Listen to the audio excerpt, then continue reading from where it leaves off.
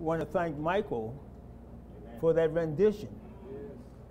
For the Word of God says, neither is there salvation in any other name. You know, sometimes we forget that. The only way you're going to be saved is the name Jesus. For the Word of God says, they shall call his name Jesus, for he shall save his people from their sins. Let us pray. Let us pray. Father God, we are gathered here because we, we remember your Sabbath day. We're here to worship you and to keep it holy.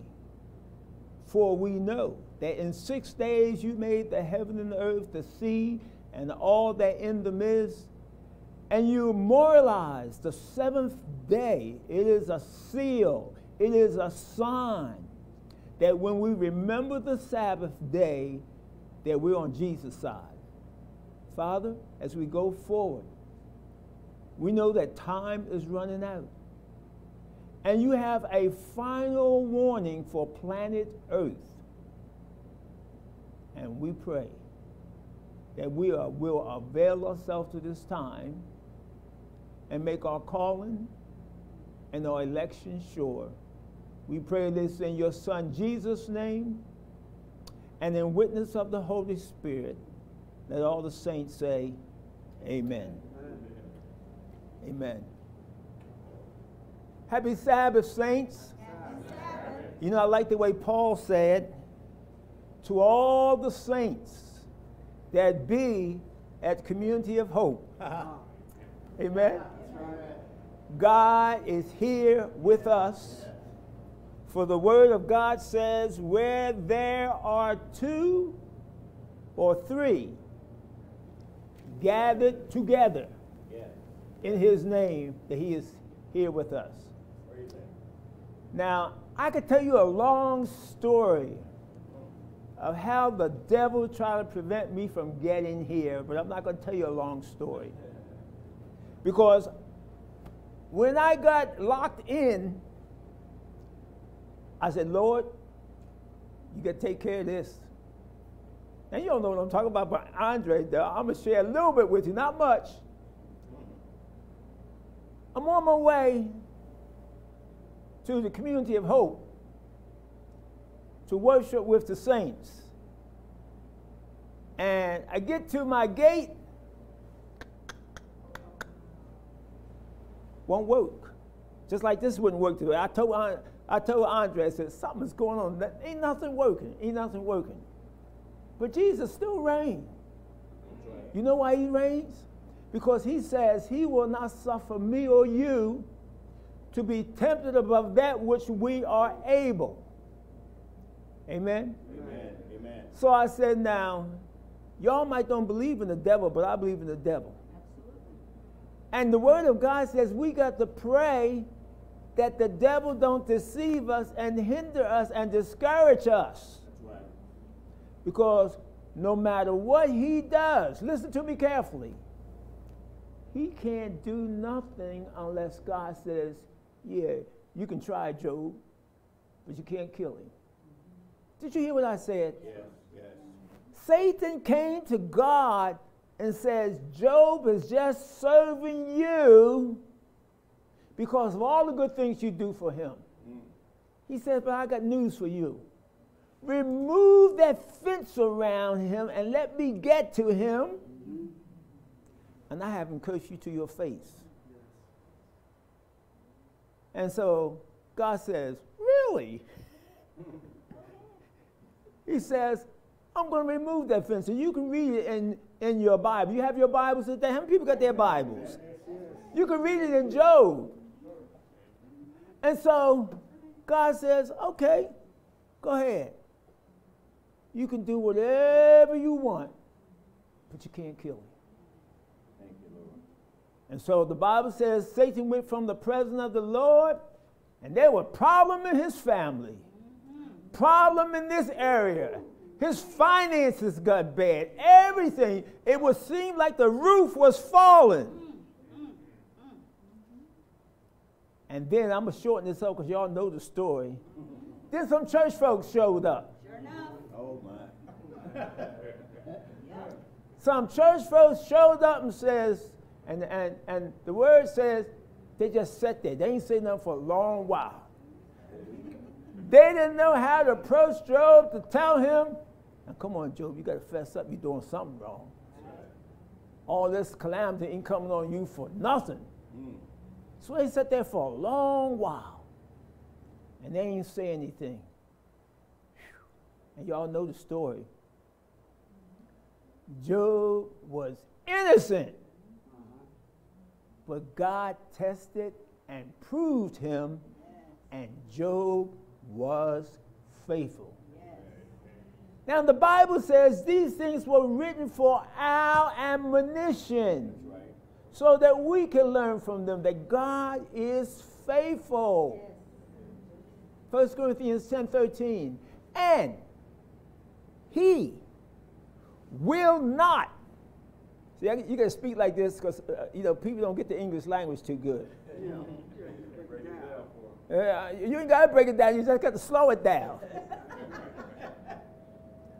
He will not suffer you or me to be tempted above that which we are able.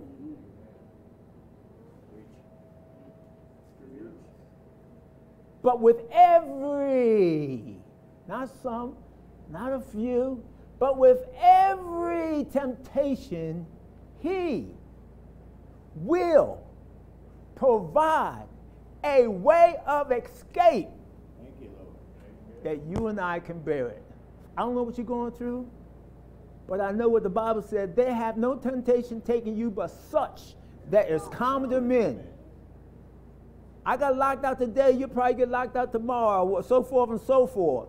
We all are in this road on this planet Earth, which I call Titanic. The band is playing. The ship is sinking, and there's no lifeboats, only a few. I don't know if you read the story about the Titanic or not. The reason why I'm interested in one month after they launched the Titanic, my dad was born, 1912. And my dad lived to be 102. And the reason why he lived to be 102, I give you the secret of his longevity. He honored his mother and his father, and God fulfilled that his days were long upon the land which the Lord thy God giveth thee. God means what he says, and he says what he means. Now, we are here to worship God, yes. but we are here to do more than that. There is a heaven to win and a hell to shun. And today, you are going to make your choice. You are going to make your choice whether you want to be saved or whether you want to be lost. So you know where we're going. Amen. Amen. Right up front, you know where you're going. Let's look what the Word of God says. Let's go back to that text that we read, John 3 16. Look what it says.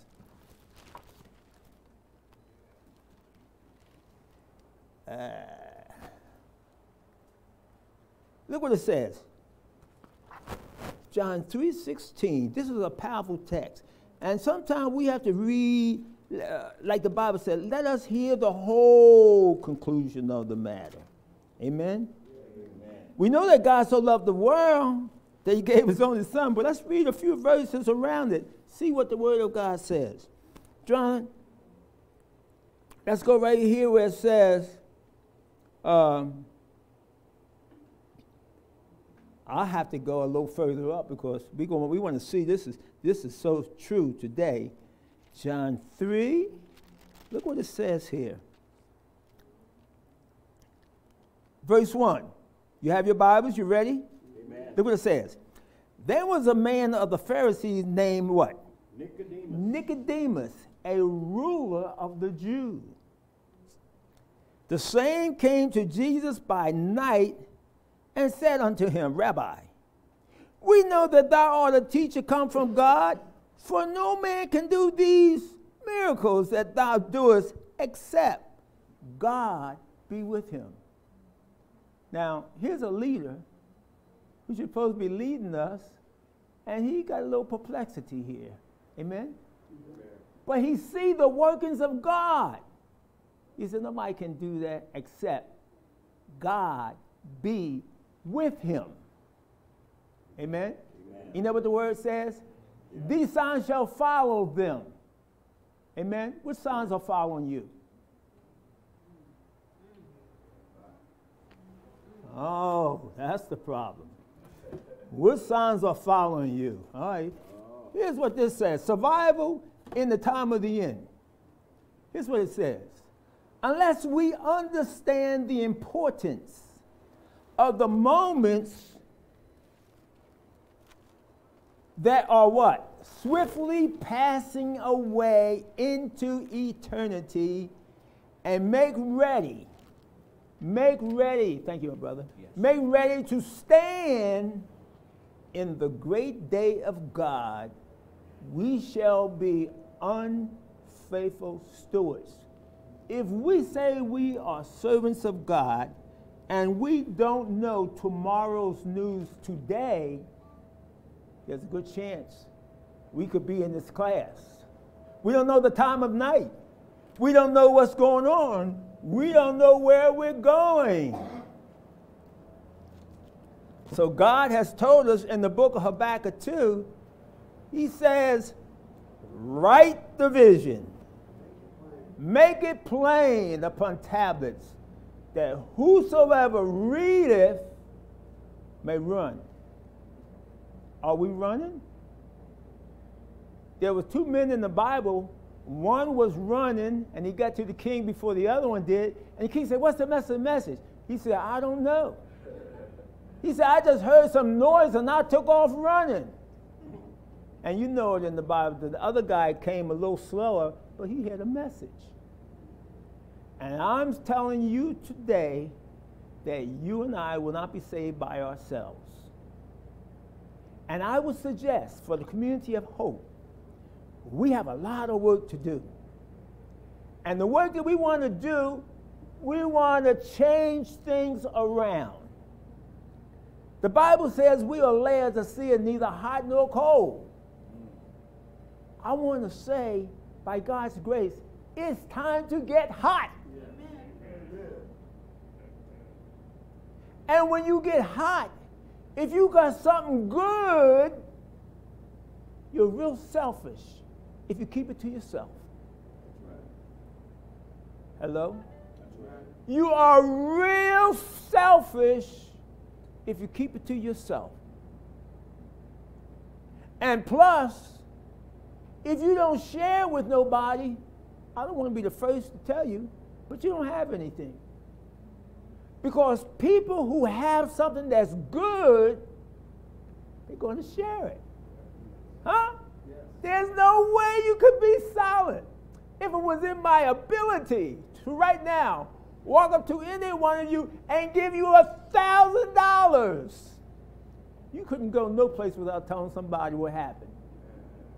You're going to tell somebody. It is simple as that.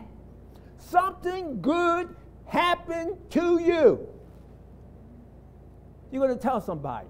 So I'm suggesting to get you started, don't leave your house unless you have something good to share with somebody as you go forth day by day, whatever you have to do. In Adventist circles, we call them tracts, books, literature, or whatever. It's something good about Jesus. And don't feel bad. Guess what? Everybody in here is in the same boat. We all have sinned and come short of the glory of God. So, you know, don't, don't, don't, don't feel like, you know, we, we all in the same boat. But we must change every week we want to invite somebody, whether they come or not, to hear about Jesus. Huh? Would you agree with me? Yes. So we have to change. We got to stop being lukewarm, as the Bible says we are. We're the last church, in Laodicea. We ain't hot and we ain't cold. We're lukewarm. And Jesus don't like us like that, do he? Jesus don't like. He said, if you don't change, I'm going to spew you out of my mouth. Amen. Amen. So get it in our minds, we must change. There must be a revival, and there's no better day than today. Amen. Amen? Now- So, let's look at that text. This Nicodemus, he was a ruler.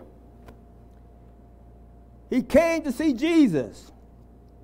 And the first thing he realized, he says, God must be with you. He didn't recognize he was God. But he knew that he had some encounter with God. Look what it says. Jesus answered and said unto him, Verily, verily, I say unto thee, except a man be born again, he cannot see the kingdom of what? God. Who's he talking to? Jesus. He's talking to Jesus. But it applies to us. We need to be born again. We need to be born again. I don't know what you did in 2020 and 19, whatever, but that ain't going to help us in 2022. We must be born again. Let's see what else it says here. Jesus answered and said to him, Verily, verily, I say unto thee, except a man be born again, he cannot see the kingdom of God. Nicodemus said, How can a man be born when he is old? Can he enter the second time into his mother's womb and be born? That sounds like the blind leading the blind, right? He's a leader in, in God's church, and he don't know how to help the brother to be born again because he don't know. He's talking to the master of to be born again, which is Jesus. You follow me? Do you follow me? Nicodemus is talking to Jesus, and Jesus told him, "You can't go to heaven unless you change. You must be born again." Jesus answered, Verily, verily, I say unto thee, except a man be born of the water and of the Spirit, he cannot enter into the kingdom of heaven. That which is born of flesh is flesh, and that which is born of the Spirit is spirit. Now we both we are both of these flesh, and hopefully we're here because we've been born of the Spirit. Amen. Amen. Amen. Amen. It says, The wind bloweth where it listeth, and thou hearest the sound thereof, but cannot tell whence it cometh and whither it goeth. So is every one that is born of the Spirit. I don't know when the Holy Ghost got a hold of me, but I thank God that the Holy Ghost got a hold of me. And I am a radical follower of Jesus. I just act like this because y'all act like that. I want y'all to think I'm crazy. y'all know that. Y'all know that. I'm just, I'm just trying to be calm like y'all. But I am not calm like y'all. I am not calm like y'all. I get excited about truth, about the Lord, and what He's doing in my life. Amen. Amen. Okay? I come from the hood. You, you, you laugh, but uh, you, got to you got to experience that. And and they said, my soul look back and wonder. All my friends I grew up with, they either dead, they in jail, they locked up, or they don't know where they are. They, they, they, they like not, they're not there. Most of them got killed in Vietnam. I went there and I didn't go to Vietnam. I was a Vietnam vet, and the Lord spared my life.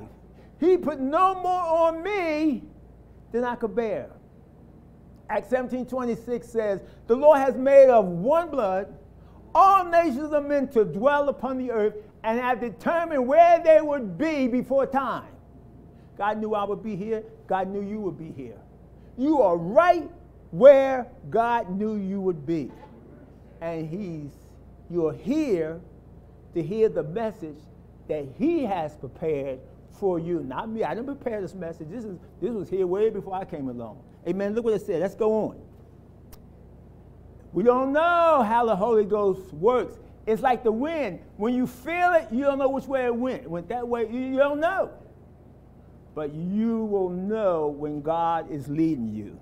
Amen. Nicodemus answered and said to him, verse 9, How can these things be? Verse 10, Jesus answered and said to him, Art thou a master of Israel and knowest not these things?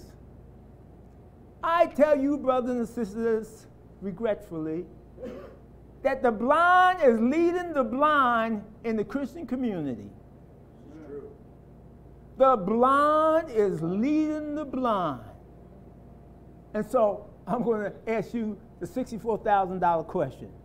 What is the solution to that? It's in the Bible. The answer's in the Bible. What's the solution to that? Here's it is. It says, study to show thyself approved, a workman that needeth not to be ashamed, he's going to study. Because his soul salvation depends upon it. He can't follow someone who don't know where they're going. Here we see a story of Nicodemus. He's a leader, a master in Israel, and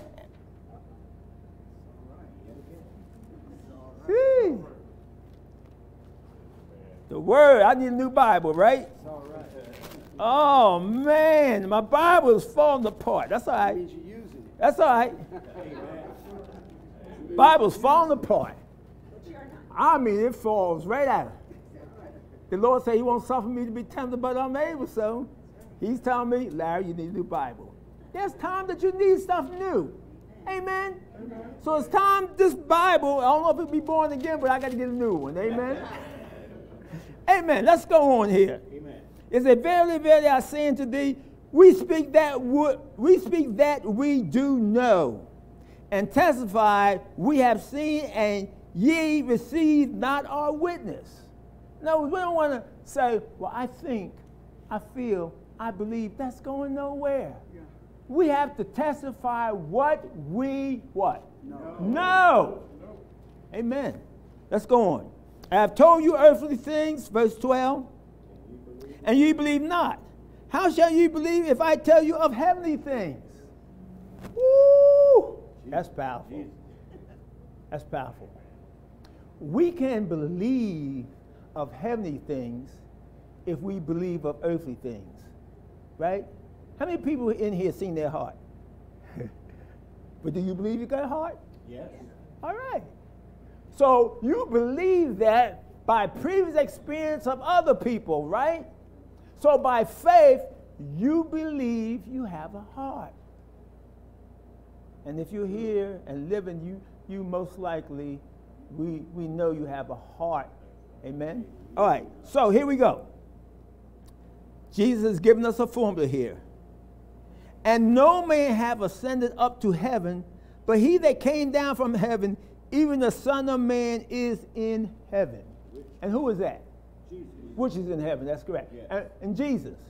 Now, let me give you a little story about Jesus.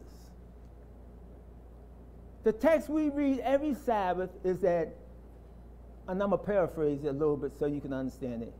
God the Father so loved the world that God the Father sent his only begotten Son, Jesus, into the world. He took on flesh. That if we believe in the work that Jesus is doing and will do, God says He's going to give those everlasting life. What do you think about that? I think that's wonderful. You think that's important? Oh, you know, the Bible said there is one event to everybody. Yes. Whether you go to church or don't go to church. And what is that? Death. Death. That's right.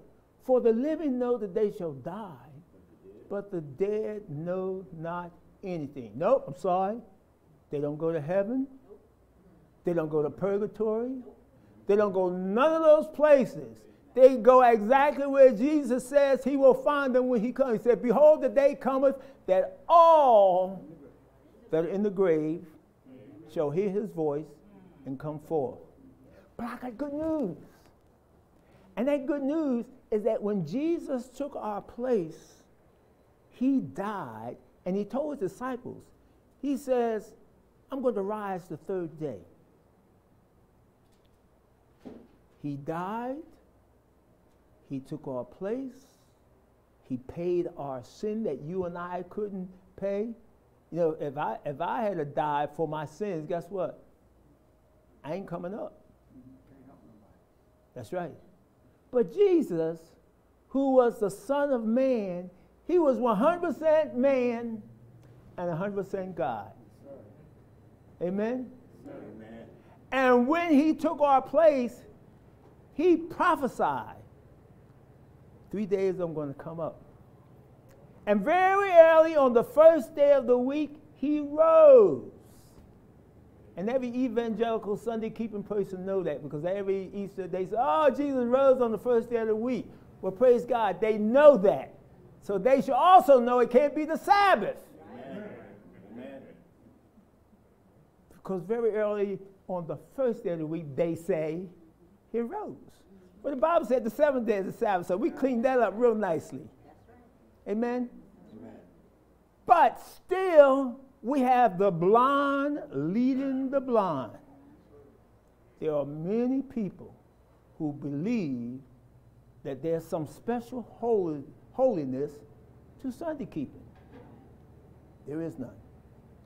The Bible predicted that a man called the son of perdition would attempt to change God's law. See, uh, I, I don't have my Ten Commandments. Oh, yeah, I do. I got them in the sanctuary, though. See? See those Ten Commandments? Those were the commandments that God gave Moses when they came out of Egypt on Mount Sinai. Now, the Bible says if you break any one of those commandments, you have sinned. Sin means this is this is this is this is simple gospel. Sin means you're unlike God. Okay? Because God won't violate any of those principles. But anyone can have those principles, but no one can have the fourth principle, which is the Sabbath day. For the Bible said, the true God made the heavens and the earth. So if you encounter any of those gods out there, ask them, which part of the earth did you create? Well, That settles it real quick. Plus, the Bible says if any Christian, anyone come along and say they know him and don't keep his commandments, the Bible says what? They're liars. There's a lot of liars in Christendom. And God loves them. Yes, he does. God loves them. And so we see that God is going to send a final warning Yeah. to the world. Most people call it the mark of the beast. But the mark of the beast only brings up the truth of God. The Bible says, I'm going to let the devil do what he wants to do and try to force people to accept a false day. But God's going to pull out his latter rain on his people. You. Right here is the Sunday law. Here is the whole controversy from the time that the church of Laodicea, we're the last part of God's church. Y'all ever heard of a remnant carpet? Yes. If I was to cut a piece of this carpet off, it's made by the same person who made the main part. Has the same design, there's no difference, but it's the remnant. And so we are God's remnant people, according to Revelation 12 17, that says what?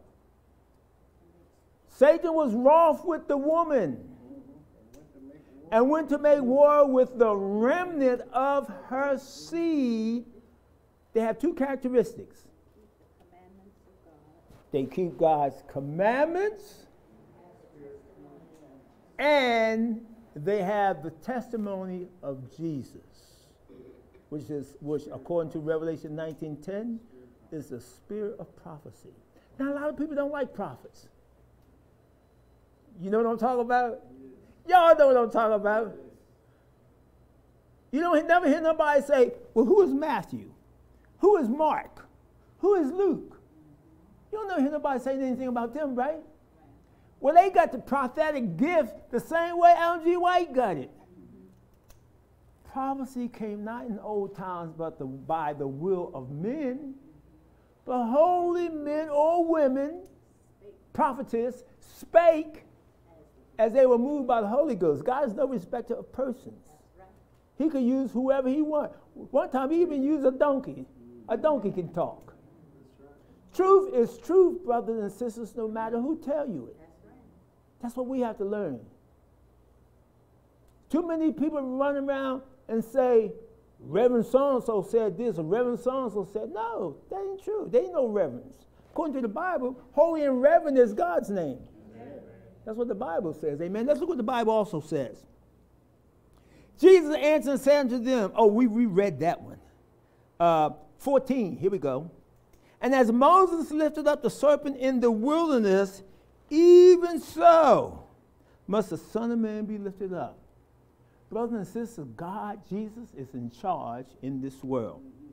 That whosoever, this part I like, is no limitation. You can be lost if you want to, or you can be saved if you want to. That whosoever believeth in him should not perish, but have everlasting life.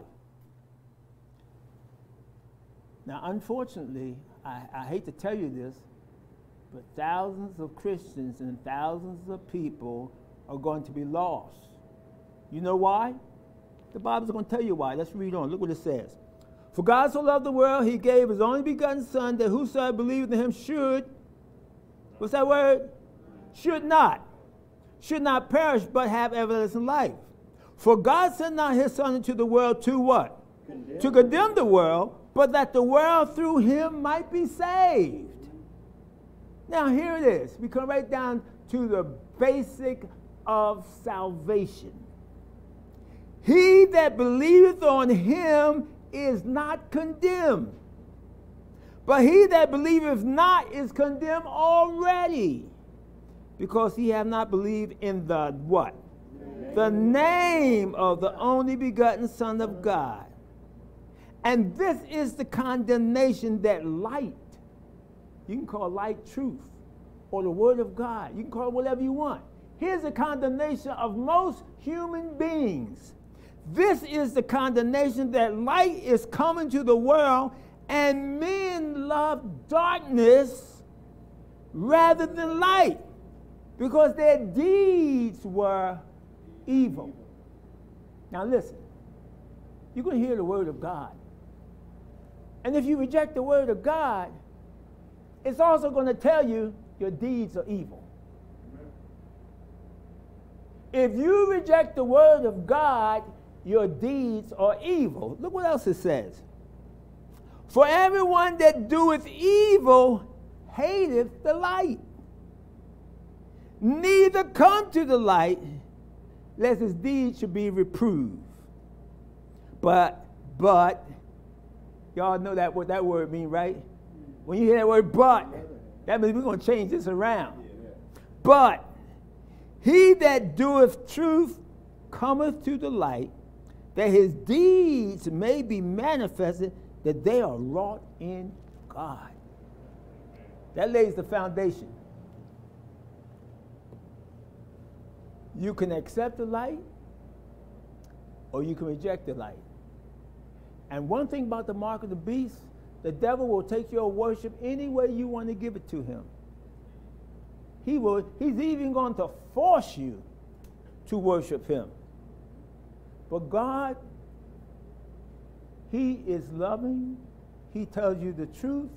He gives you the light. He let you follow your conscience the pioneers of the U.S. States of the United States of America said freedom of conscience. God gave you a brain to use. And no matter how many people laugh at you or scorn you, you do what you want to do. Okay?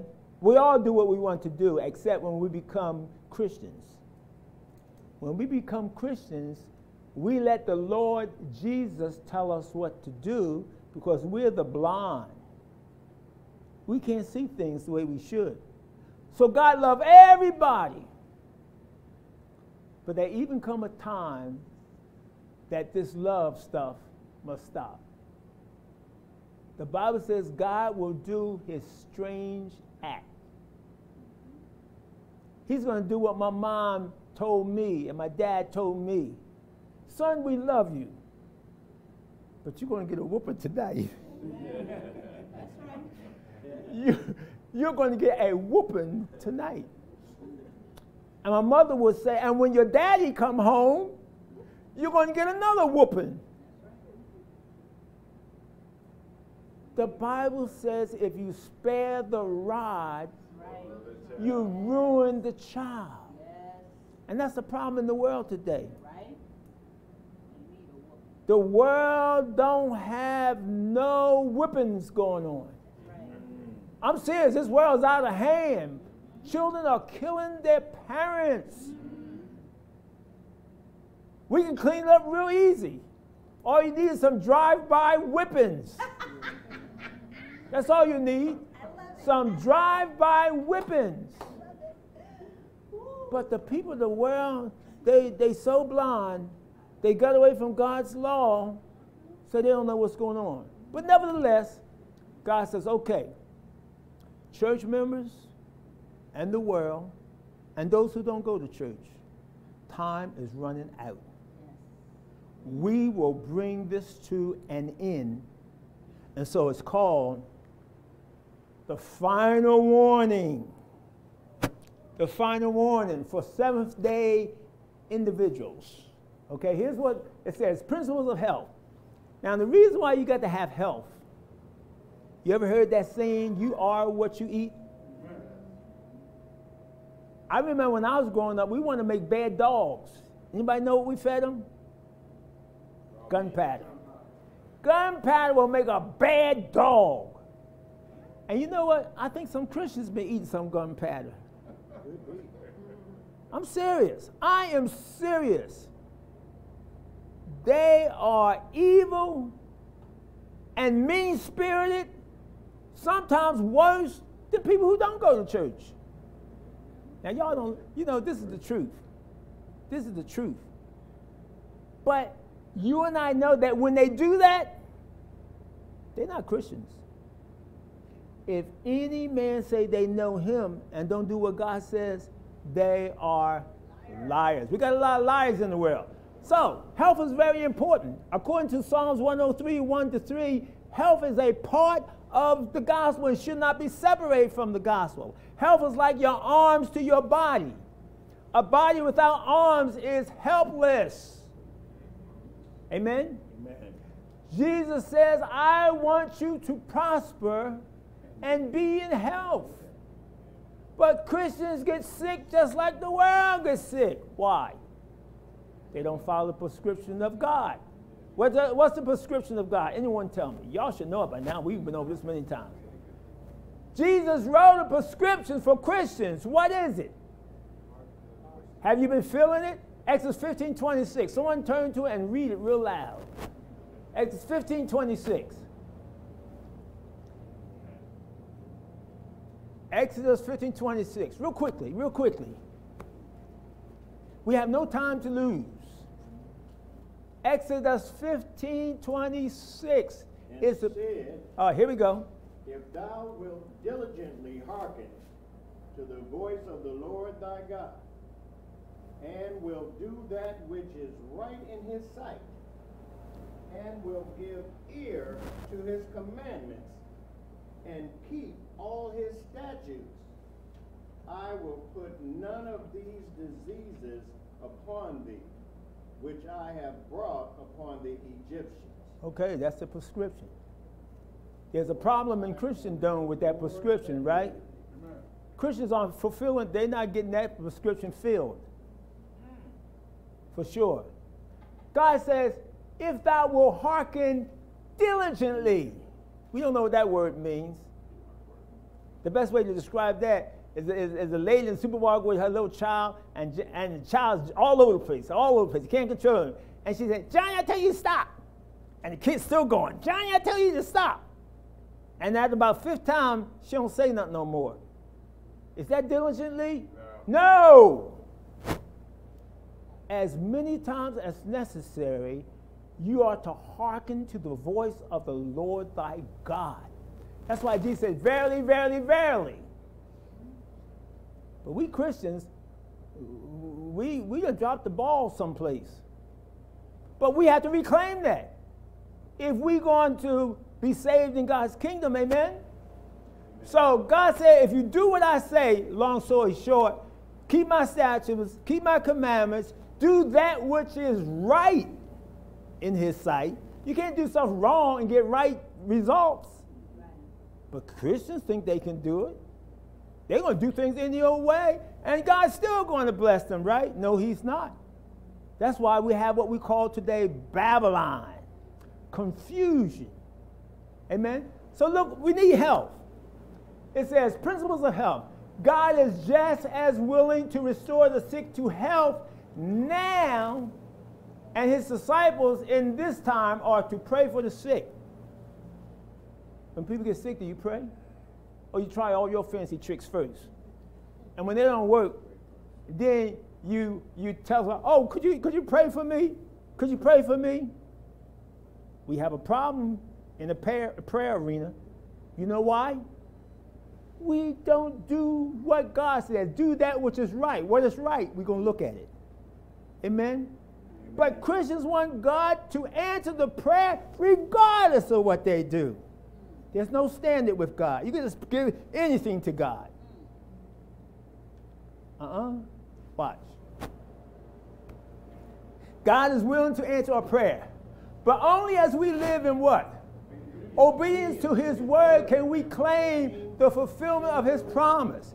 If I regard iniquity in my heart, the Lord will not hear me. Psalm 66, 18. People say, oh, pray for me. Pray, pray, pray. They don't say nothing about iniquity. You can't just give God anything without first examining your life. There's a standard. You want a job? They say, okay, you can go to work here, but you got to wear a blue hat. Are you going to wear a blue hat? you know, if you want the job, you're going to wear a blue hat. If you want God to answer your prayer, you got to meet the standard. Amen? Here we go.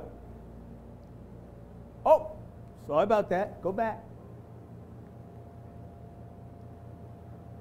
They must live in harmony with the laws of God, both natural and spiritual. Ministry of Healing 227. You know that. If you have sinned by withholding from God, his own, heed the injunction that he has given you. And what do it say? Bring all the tithes into the storehouse. Now, some people bring some of the tithes. Y'all didn't hear what I said. People say, oh, I sent this tithe over there, and I sent this tithe over here and over there. What did Jesus say? He says, Bring ye a L L. And many people in some Adventist churches confused. They're sending their tithes all over the place. That's not what Jesus told them to do. You got offering, you can send that wherever you want to send it. But if you are returning to God his own, he says very clearly, bring ye A L L. Okay, let's go to the next one. Where's the storehouse? Right here. If you read the text in Malachi, he said that there might be meat in my house. Is this God's house? Yes, it is. God wants to get this gospel done, but many Christians, many Seventh day Adventist Christians, are not bringing all the tithes. They are bringing an offering that's like Cain. Oh, God ain't particular about this. My fruit is just as good as, you know, bringing the lamb. Where do we get that Cainish religion from? We have it though. Whatever God says, we think we can edit it. It won't happen. Amen? Won't happen. All right, here we go. Those who will gratify their appetite and then suffer and take what? Drugs. Oh, we got drug addicts in the church? Take drugs, look what it says, to relieve them. They never read this, you won't hear it from the leaders. May be what? Assured that God will not interpose to save health and life, which is so recklessly periled. Many, as a last resort, request the prayer of the elders of the church for their restoration to health. I like this. I do a holy dance up here if, if y'all don't mind. God, who? God. God does not see what? Fit, Fit to what? Answer prayers offered in behalf of such, for he knows that if they should be restored to health, they would again sacrifice it. Now, God's people don't take drugs anyway. Amen. Ain't that true? Because if we do, we are doing what the Bible says by her sorceries were all men deceived. Now, listen how you're deceived. People today actually believe that they can take poison and get health. Wow, that's, that's, that's crazy. You can actually take poison and get health. But they believe it. Why do they believe that? Because they have been deceived by Satan. So God has raised up his people to tell the truth and to bring forth light. We read God's prescription. You can't, you know, I wish I had some arsenic up here. I said, anybody sick? You didn't hear what I said. Anybody sick? I got something that will cure you. Take a little of this arsenic. Oh, you woke up. But the well is drunk with the wine of confusion, Babylon. That's why in Revelation 18, Elder, God calls his people out of confusion. We got to go on. This is getting good. Now, here's a, here's, here's a real heavy one. Y'all know this story in the Bible. Some I saw had error in praying for the sick. Woo! To be healed before who's that? What's that word? Unbelievers. Unbelievers. We should follow the example of Jesus. He put unbelievers out of the room, then healed the sick. Y'all know that story. How are you going to ask God's blessing when you got a bunch of people in the room, mother, father, sister, brother, whoever, and they don't believe in Jesus? around these unbelievers is darkness and demons. We know that. No wonder Christians are so weak. They don't do what God said. Oh, there, my sister will be offended. My brother will be offended. So forth and so forth. So who you going to obey? God or your sister, your brother, your mother, your wife? You want God to answer prayer, but you won't do what He says. That's why the world think Christians are crazy. They're always praying and they never get no answers the way they want them because you don't meet God's standard. Thank God it's an individual thing. Thank God is an individual thing. Nevertheless, Jesus said, This gospel of the kingdom shall be preached to all the world. Everybody's going to hear the truth. And nobody's going to be at the judgment bar of God and say, Lord, nobody told me. When everybody hears the gospel, then the end shall come. And the end is the close of probation. We don't need no more intercessor because everybody has made their volunteer choice. Amen? Let's go on. The final warning for the Seventh day Adventist individual and for the world. Guess what? What's the difference between these two? For, for God's only true Seventh day Adventist church and for the world. What's the warning? What's the warning? It is the same. There's no difference.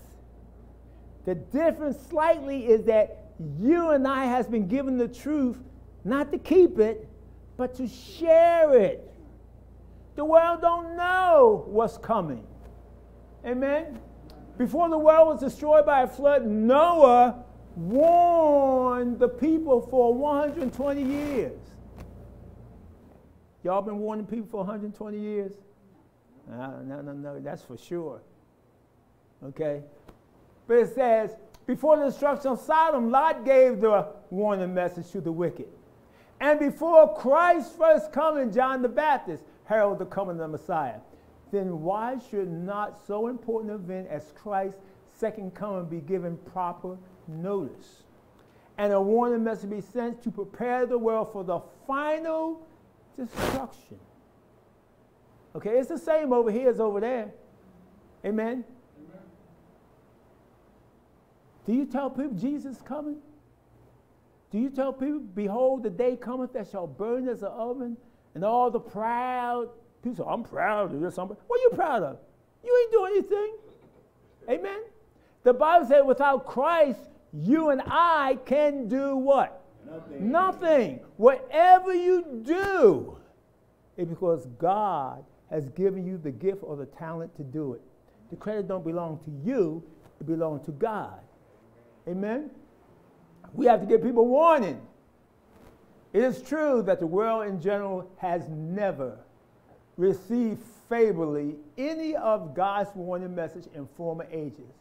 And Christ declares that his final, you know what that means? No more coming. Final warning will, typo, not be heeded by any more than his warnings sent through Noah and Lot. Yet the message must be given, though there are but few who receive it. There's only going to be few. But you and I, we have the opportunity to choose. I don't, I'm not really too much concerned with what everybody else is do, doing. I want to know what must I do. Okay? Let's look at this. Here is Christ's message for our day. I, Jesus, have sent my angel to testify unto you these things in the churches. Behold, I come quickly. Blessed is he that what? Keep the sayings of the prophecy of this book. Here we see that the message to be given just before Christ's second coming is found in the book of Revelation. This is especially given in chapter 14, verses 6 to, to 14. What is that? What do we call that? Present truth. Here it is. Fear God. I saw another angel fly in the midst of heaven, having the everlasting God. Fear God and give glory to him for the hour of his evaluation or judgment is come. And worship him that made heaven. Do you know that as I speak, Jesus is in the most holy place of the heavenly sanctuary, and the books are open. He is now judging the dead. A lot of people think they got away. A lot of the world think, oh, when I die, I'm gone. You might be gone, and you might do what the world say, R.I.P. What do you say? They, they, they, say, oh, rest in peace. Oh, he's going to rest. He ain't got no choice. It's his awakening that you need to focus on. When you're dead, you're going to rest in peace. Ain't nothing else you can do. You're dead. Amen. So God says, wake up. Fear God and get. Fear don't mean to be afraid of, but give God due reverence. Do all. For the hour of his evaluation, your resume is in heaven. Mine's in heaven. The recording angel has recorded everything we've done in our life. I had a lot of repenting to do, and still got a lot more to do. You do too. Amen? Amen? But when we have pardon written next to our name, Jesus is going to do what he says he's going to do in Daniel 8:14. What is that? Cleanse the sanctuary of all records of sin. Until 2,300 days then shall the sanctuary process start. God is starting to remove sin out of his sanctuary. And eventually, it will come up to the time that right now, as I speak, y'all ever heard of digital currency? Hello? Well, right now, there's a bill before Congress to get rid of our cash. I mean, we're, we're, we're right on the cutting edge of prophecy being fulfilled. We are right on the edge of Revelation 13. And he calls us all to receive a mark that no man might buy or sell, say he that worships the beast or his image or receive his mark or the number of his name. That's what this is the final warning that God is sending to the world. Do you know what it means? You know what the beast is? You know what the mark is? You know what his name is? You, you got all that, right? You serious? You don't have it? Well, it says in the next message if any man worship the beast or his image or receive his mark or his name, the same shall drink of the wine of the wrath of God, which is poured out without mixture, no mercy. You can see that in Ezekiel 9 when God tells his angel, Go forth. Every, you know, when I was coming here, I saw all these cars, thousands of cars, and kids running up and down the road, and they don't know what you're hearing today. Or they wouldn't have been out there breaking God's Sabbath day. They don't know. And the devil wanted to keep it just like that. He don't want them to know. Because if they fulfill that third angel's message, the angel of Ezekiel 9 says, slay what? Utterly young. Y'all don't believe me. I can look, see your faces. You don't believe me. Let's read. I'm, going to read. Let's go to Ezekiel 9. This ain't no joke. Oh, this ain't my Bible. I picked up Andre's Bible. I'll try to get a new Bible. Ezekiel 9. See, I'm to I'm gonna I'm to simplify a lot of this talk that we do. You heard of the tornadoes going down south and through different states and whatnot? Those are the judgments of God. Okay? We get judgments when people don't want no part of God and so forth and so forth. And God says, look, leave them alone. Ephraim is joined unto the idols. Angels pull back. Remember, they couldn't get to Job unless God said, get them.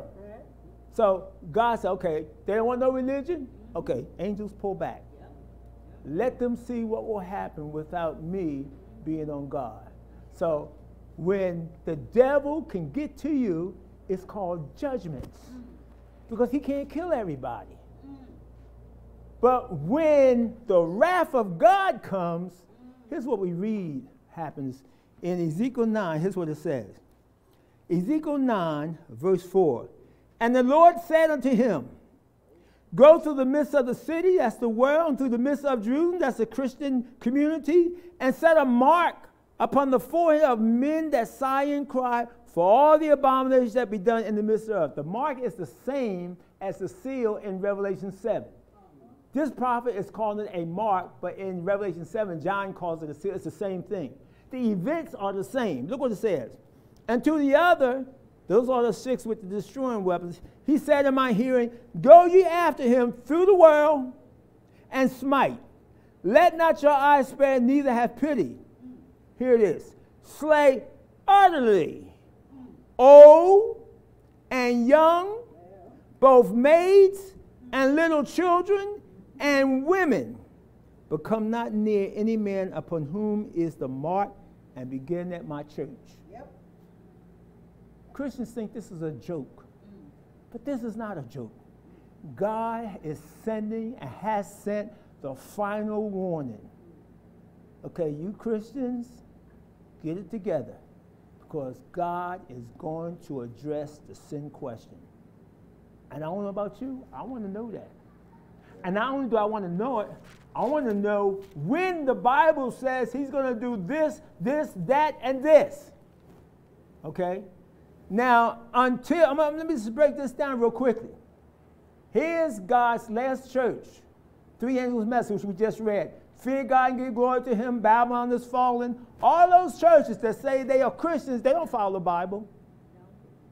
If they don't keep God's Ten Commandments, you knock out 98% of all religious groups. 98%. God said if they say they know Him and don't keep His commandments, the Bible says they are liars. You ever heard of a false prophet? Yes. Do y'all believe in the false prophet? So what's the problem? You can't believe in the true prophet. If God has given his Seventh Adventist church a prophet and you don't believe in it, you know what that means? I'm going to tell you what it means. Here it is, right here. See, the, see these Ten Commandments? Who gave the Ten Commandments? God. So here it is, real simple. If you reject God's Ten Commandments, you reject God, the author of the Ten Commandments. So if you reject the spirit of prophecy, you reject God who gave the spirit of prophecy.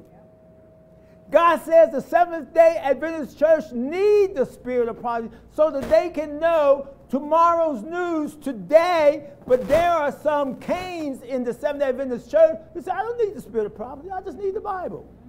Well, that's all Babylon got. They just got the Bible. And they're just as confused as confused can be. You know why? Because they don't have the keys of the kingdom. They don't have the secret of the kingdom. In Matthew 13, Jesus said, To you it is given to know the mysteries of the kingdom. If we didn't have the spirit of prophecy, we couldn't write the vision, make it plain, so you will know what to do. Real clear. Let me give it to you. God raised up his church. He gave them the three angels. Fear God, Babylon's fallen. If any man worships the beast, da da da. They go into all the world. But in the Seventh Adventist church, you have wheat and tare. Some people will accept what God says, some people won't. Well, those people who won't, they become the wicked living. They don't talk about that in, in real churches, right? No. No. This is a real church, and we're going to talk That's about right. it. Amen. We're going to warn as many people that time is short, and God says, get ready. I used to play this, this little game when I was growing up. Ready or not? Here I come. What was it? One, two, three, four, something like that we used to play. And we had to go run and hide. Oh, oh y'all never played that. Oh, yeah, we did. Okay. Here it is. Three angels' message. Now, probation closed. Here's, here's, here's the, the sad part. People are saying when Jesus comes, that's the end of the world. That's not. The end of the world here is when you are judged. If you're righteous, you're judged righteous. If you're holy, you're judged holy. If you're wicked, you judge wicked. And this will end when Jesus, your only intercessor, takes up your name and pleads your cause before the Father. He says, Father, I died for Larry, and his books, all his sins have pardoned. He's confessed all his sins. So Father says, Great, you can take his books out of our sanctuary. They're going to be cleansed. Okay, I'm going to show you the importance of it in our opening scripture. The Bible said, And whosoever was not found written in the books go to hell's fire. A lot of Christians don't know that. They think hellfire is some joke or some something to laugh about. It's not. My sister, I made a little fire at home. I was making some charcoal. Ooh, that fire was pretty hot. And all I got was my hand. We forget about that. This ain't no laughing matter. Hell's fire is to destroy sin and sinners. It's a strange act. God does not like to destroy anyone, but there come a time that if you don't meet the standard of the job, you will have it will happen to you like it happened to Lucifer. Lucifer didn't like the requirements in heaven. And the Bible said that old serpent was what? Cast out. I put my son out. You may have to put your son out if they don't obey you. They're going to stay in your house and roof over their head and food and stuff and, and don't obey the parents? Hello. Who have bewitched these parents out here? Mm-hmm. Put them out. Amen. That's what Jesus did. He had to put out the third ranking angel in heaven called Lucifer, and now we got to deal with him down on earth called the devil. Amen. But that's okay. The day's coming, the devil's going to get his share. Amen. So here we go.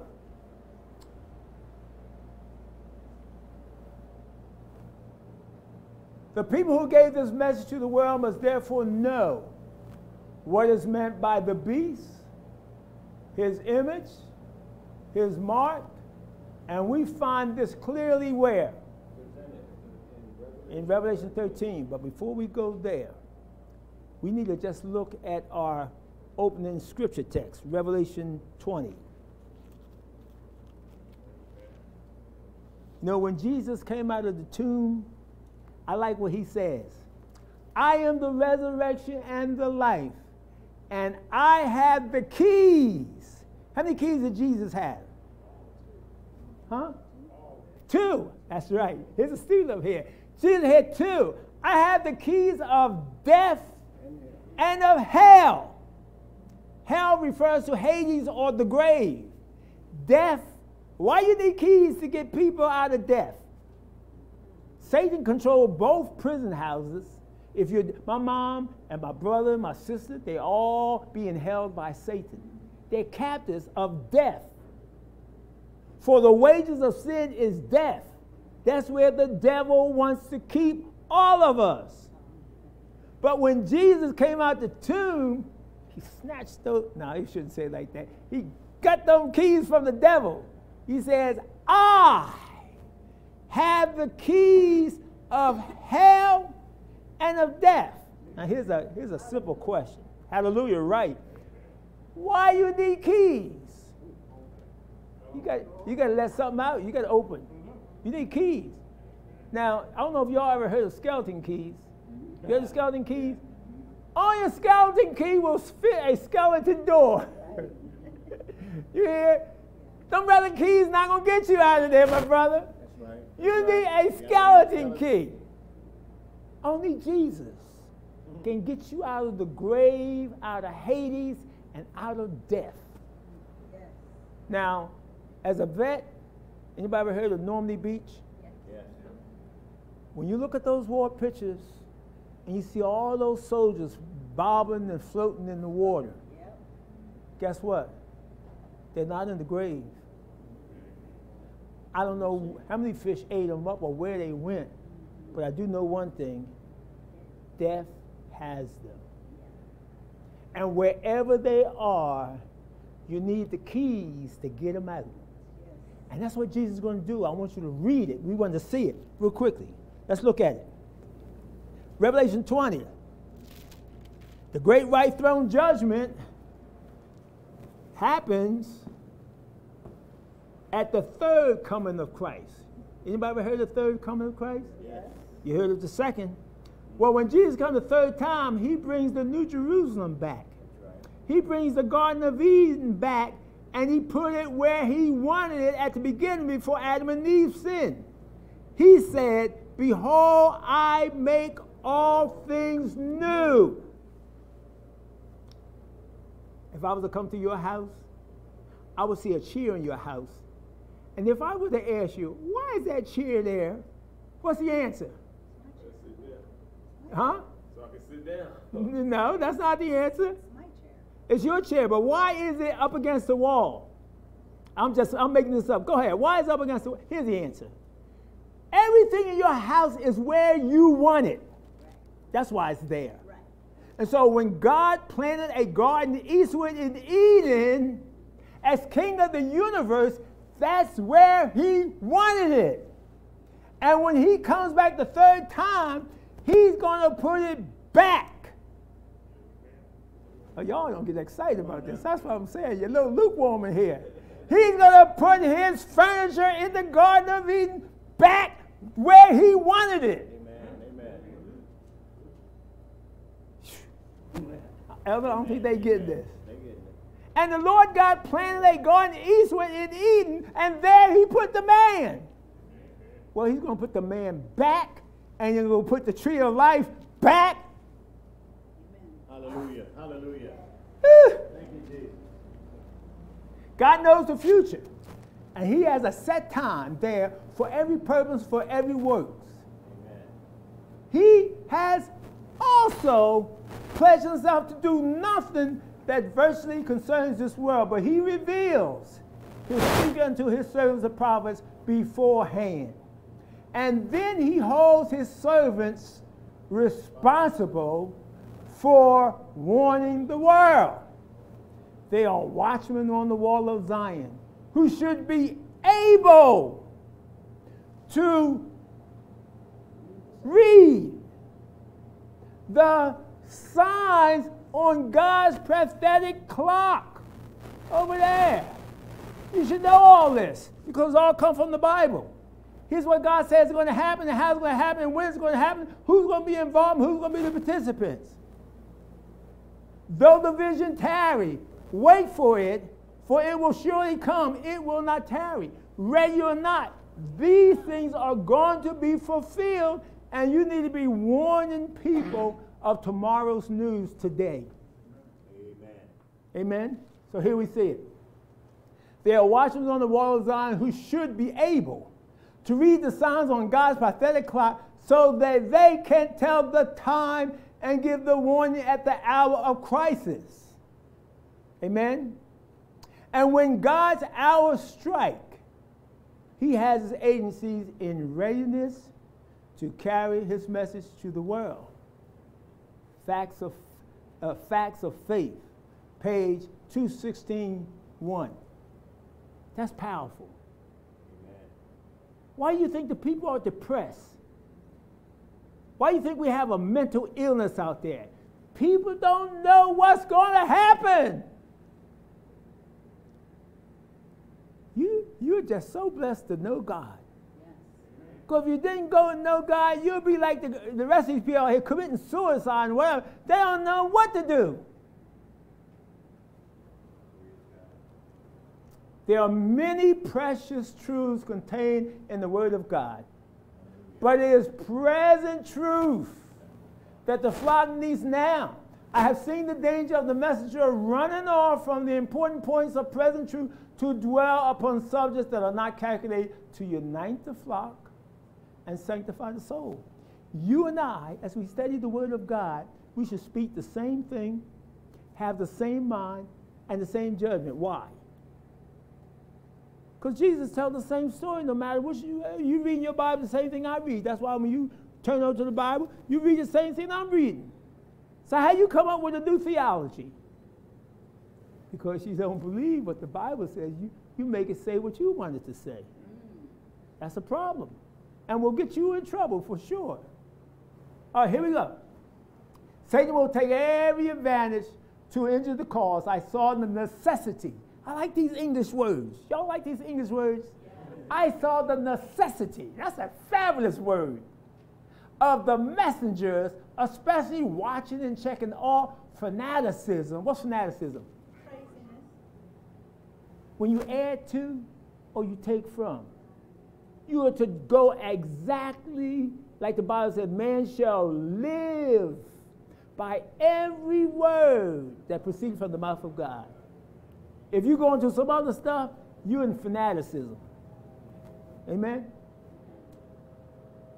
Satan is pressing in on every side, and unless we watch for him and have our eyes open to his devices, the brothers gave a testimony today about that, and snares, and have on the whole armor of God, the fiery darts of the wicked will what? Hit us. Revelation 12, 17, the dragon was wroth with the woman and went to make war with the remnant of her seed, which keep the commandments of God and have the testimony of Jesus. Long has the Lord waited for the spirit of what? service to take possession of the what? Whole church. So that everyone shall be working for him according to his ability. When the members of the church of God do their appointed work in the needy fields at home and abroad and fulfillment of the gospel commission, the whole world will soon be warned, and the Lord Jesus will return to the earth with power and great glory. This gospel of the King shall be preached to all the world for a witness. Didn't say everybody was going to accept, but they will hear. Unto all nations, then the end shall come. Hundreds, yea, thousands who have heard the message of salvation are still idlers in the marketplace. What that mean?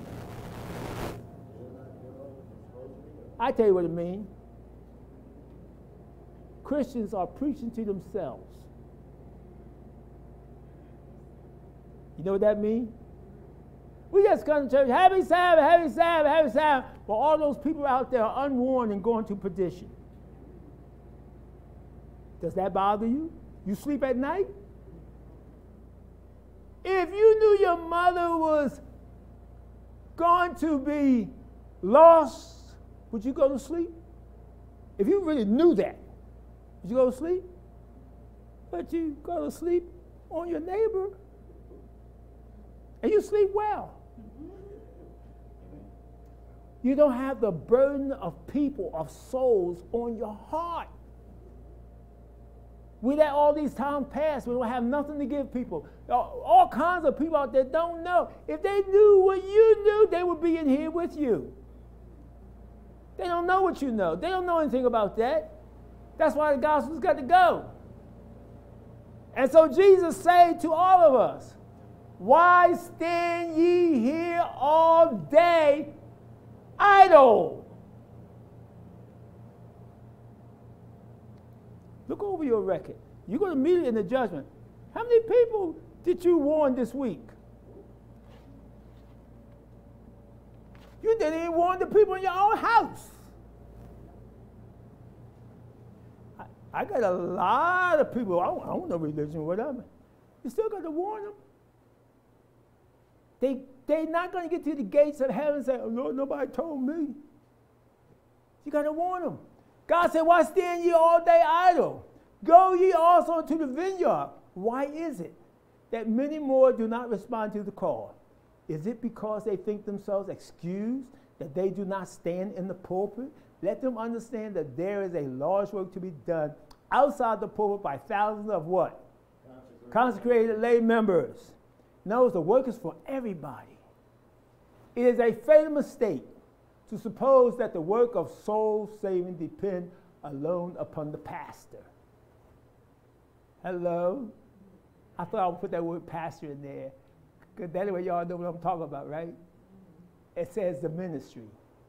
The humble, consecrated believer upon whom the master of the vineyard places a burden of soul is to be given encouragement by the men upon whom the Lord has laid larger responsibility. Those who stand as leaders of the church are to realize that the Savior's commission is given to all.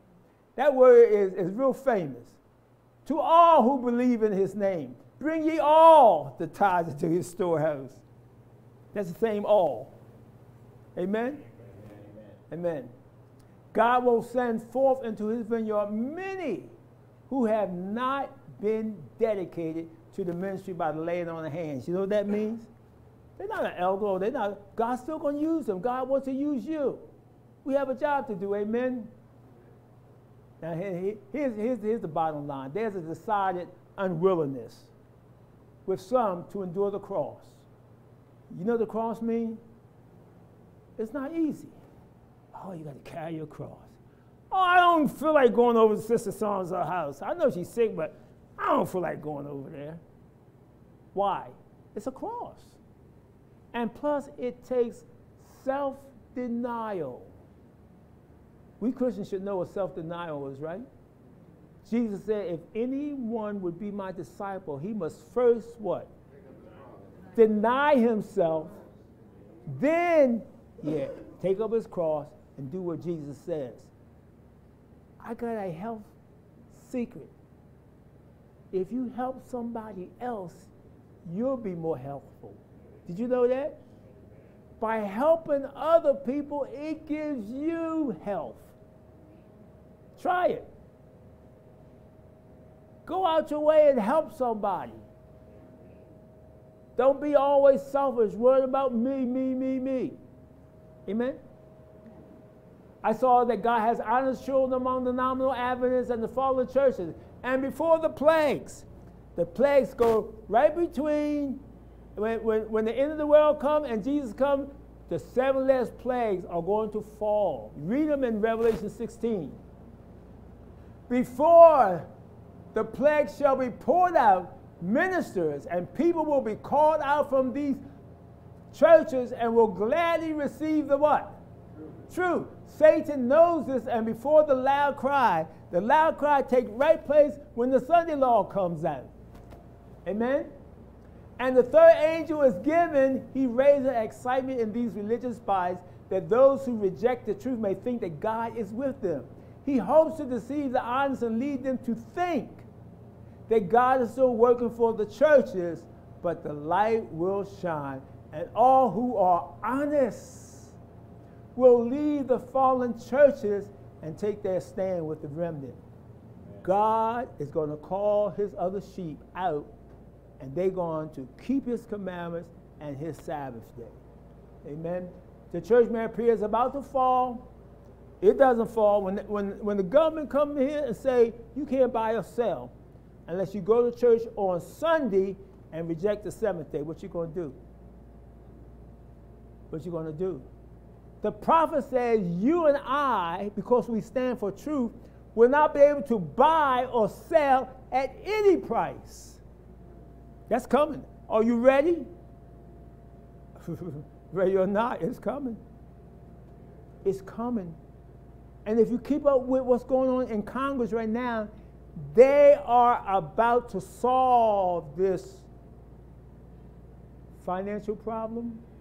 Y'all heard about it? I'm sure you have. I'm sure you've been on the internet. I'm sure you heard. It's all over the place. They're about to bring in their digital currency. You know what that is? Now, Bitcoin, they're not going to worry with that. That's, that's collapsing. They want a digital currency like a credit card, like what they have in China. That everything you do, you can't do anything unless the government says, yeah, he's okay, he can buy this, he can buy that. You will not be able to buy or sell at any price because it's not the government, it is the devil trying to get you to get the mark of Rome, which is the mark of the beast.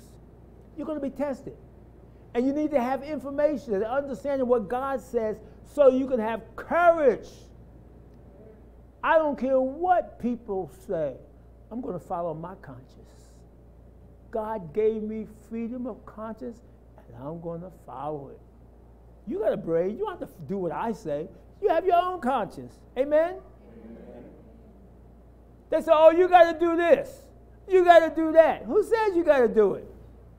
Last I checked, this was America, even though America is starting to change to that dragon that we read about in Revelation 13. And I want to warn you if you can't stand when we're walking, you won't be able to stand when we start trotting. Right. Christians are falling like flies all over the place. They just go along with whatever anybody says. They don't follow the word of God. You're going to have a lot of problems. As the world twists you backwards and forwards, if you don't have your own mind, you're going to be in trouble. So here's what it says the church may appear is about to fall, but it does not fall, it remains.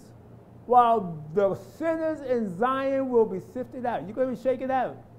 If you don't know what God said you should and should not do, it's a sad commentary. Don't waste time. This is a terrible ordeal, but nevertheless, it must take place. Like the message uh, 380, book 2. As the storm approaches, a large class who have professed faith in the third angel's message, but, there's that word, but have not been what? Sanctified through what? Obedience to the truth abandon their position and join the ranks of the opposition. You and I will do it. You and I, if we have not been sanctified, you know sanctified me? When God blessed the Sabbath day, he did what? He, said, he set it apart. You and I will be sanctified when we do what God says. If you don't do what God says, you're not sanctified. And if you're not sanctified, you're not going to pass the test of the National Sunday Law on the mark of the beast. You're not going to pass it. When I was in school and they told me, oh, on that test is this, you better study it or you're not going to pass. You think I did? you got it. I studied it. So if I'm telling you right today that you got to know what the beast is and what his image is and what his mark and what his name and who's behind it, you're not going to pass. What should you do? You better study it out or you're not going to pass the mark of the beast. And if you don't pass the mark of the beast, you're going to be in big trouble. But here's why it's so serious. I got a lot of relatives. They don't know what the beast is. They don't want to hear it. They're like Cain. I don't, don't want to hear this. I want to hear that. Brother, I'm telling you, the bridge is out. Don't go down that road. I ain't thinking about you. What's the problem? Here's the problem.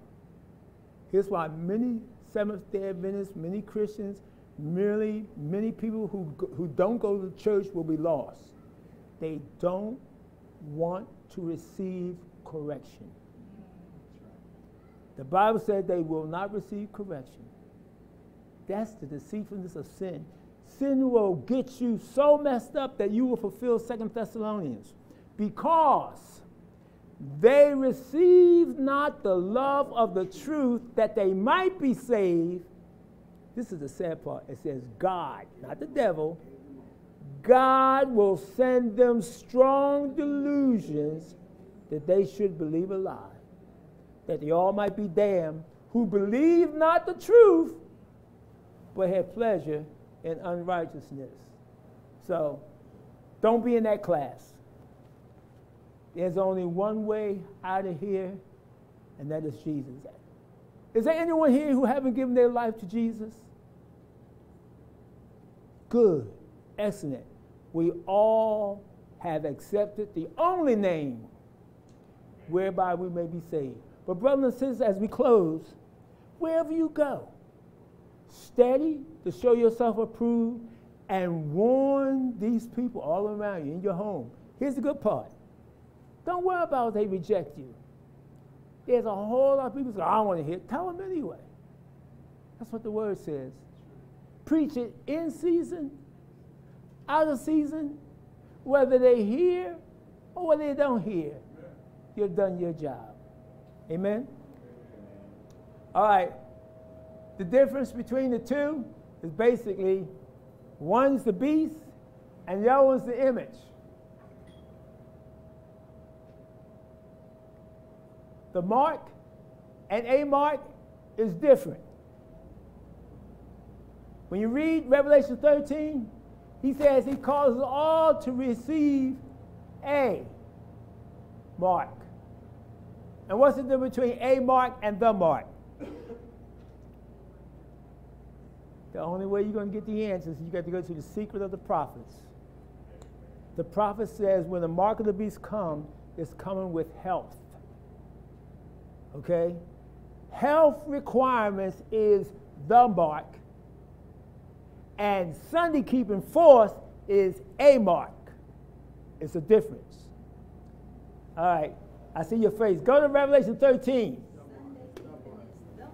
Yeah, the mark. The mark of the beast is for Sunday keeping with the clause to reject the Sabbath. A mark is the compliance mark. You need to meet this standard. So God has told us since health is a part of the gospel, the devil's going to approach the world on health because they don't think that's, they say, how they say it? But that's not a, uh, that's not a salvation issue. That's what they say. It is a salvation issue. Because the Bible says, if any man defile this temple, him God will destroy. Anyway, let's go to Revelation 13 as we close.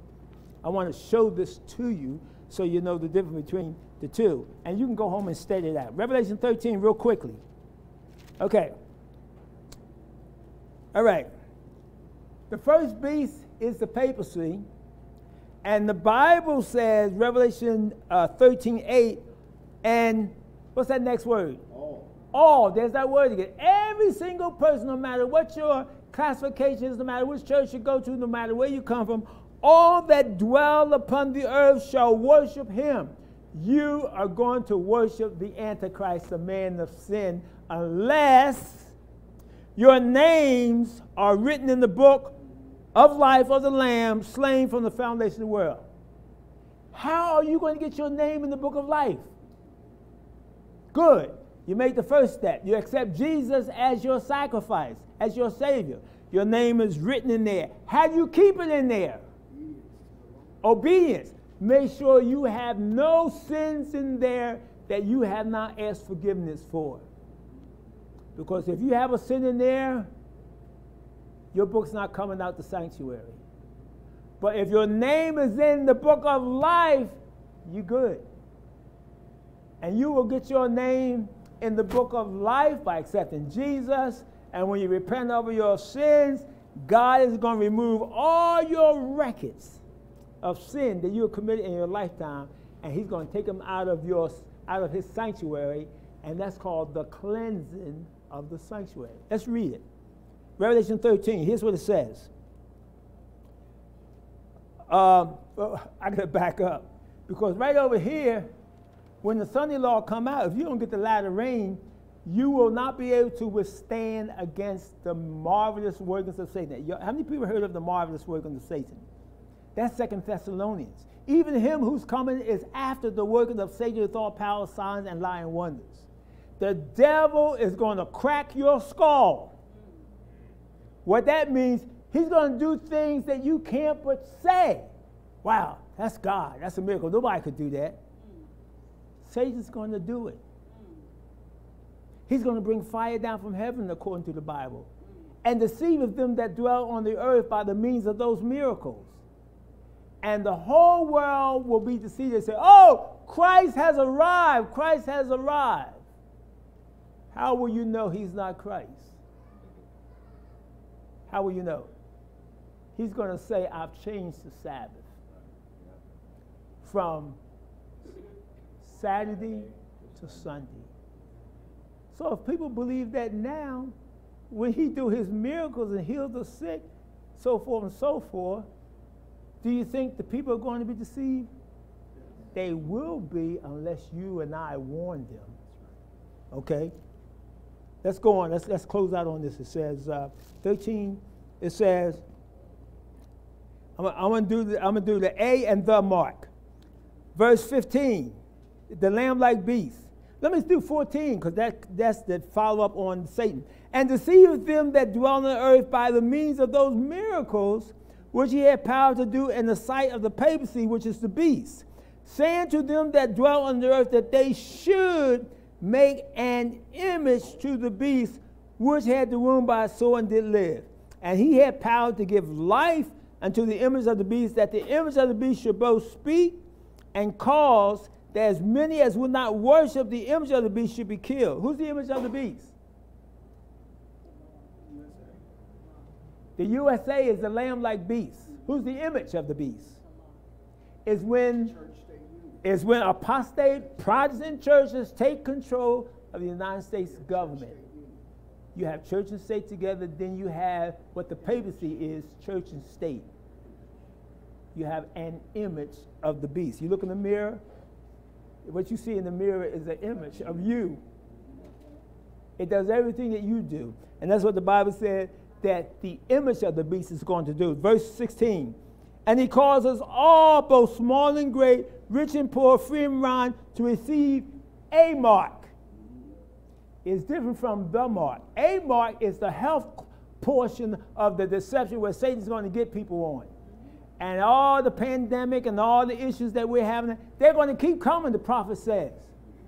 And the world's not going to follow the prescription that God gave. They're going to follow the prescription of the government. and unfortunately, they will be deceived. And so we have to warn them. So let's, let's close up right here. And he causes all, both small and great, rich and poor, to receive a mark in their right hand or in their forehead, that no man may buy or sell, save who had the, the mark. See, there we go. You're going to have to keep Sunday to be able to buy or sell, and you're not going to get no support from nobody. God's been telling us for years, and we see it, it's right here. If they come out with that digital current, your cash in your pocket will be useless. It will be useless. The gas could be as high as the one, you can't buy it anyway because you ain't got the mark. Hello? So it's coming, it's right here. Pray God that He will continue to hold the winds back, according to Revelation 7. Because if it comes out, your liberty as a United States citizen is gone. You will now have to do what the beast and what his image say. We're right there, brother. We're, we're right on, on the corner of it. That no man may buy or sell, save he that had the mark, or, don't forget that, the name of the beast, or the number of his name. So you can get the mark of the beast by being affiliated with the papacy and all those other powers. All right, we're going to close out. Any questions or anything as I close? We no, we're not going to have an afternoon session. that was easy, right? That was hard. Do you want an afternoon session? Yes. Do you want an afternoon session? You got a lot of questions? Yes. We'll have an afternoon session then. Amen. All right, so then I won't, I won't give you the last clips. We have an afternoon session. We'll take the Bible and we'll go strictly through it. At least to give you a, a backdrop so you can start. Amen? Amen. All right, let's have, let's have closing prayer. Father God, we thank you for your revealed will. We thank you for a clear understanding of your word. And you told us to write the vision. And though it tarries, to wait for it, for it will surely come. Lord, help us not to stand idle in your vineyard. There's thousands of people out there who know thee not. Help us to be all that you want us to be, to be restored back into the image of God. Be with each person here. You know what their burden, what their stress, what their mental condition is. According to your riches in heaven, we ask that you will come close to them and give them the answer to all the questions that they have. For indeed, you're the word and the truth. We also ask that you would bless the food that has been prepared for the nourishment of our bodies. Be with us as we go forward this afternoon also. In Jesus' name, amen. amen.